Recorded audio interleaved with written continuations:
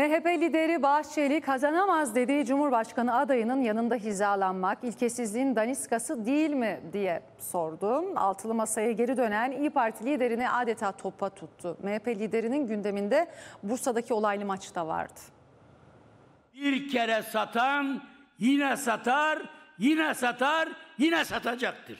Akşener'in masaya geri dönmesini böyle değerlendirdi. İyi Parti liderine sert sözlerle yüklendi. Önce devirip sonra zoru görünce tekrar oturanlar ilkesizliğin ve yüzsüzlüğün numuneleridir. Kazanamaz dediği Cumhurbaşkanı adayının dönüp dolaşıp yanında hizalanmak ilkesizliğin daniskası değil de nedir? Makam ve mevki pazarlıklarıyla masaya geri oturan İP Başkanı söylediği ağır sözlerin altından nasıl kalkacak? İnsanımızın yüzüne utanmadan, sıkılmadan nasıl bakacaktır? MHP lideri Bahçeli grup kürsüsündeydi. Bursa'daki olaylı maçta gündemindeydi. Türkiye sokakta bulunmadı, tribünde kurulmadı dedi. Bize göre Ahmet diye bir yer yoktur. Ahmet Spor diye bir kulüpten de bahsedilemeyecektir. Bursa Spor taraftarlarını buradan selamlıyorum.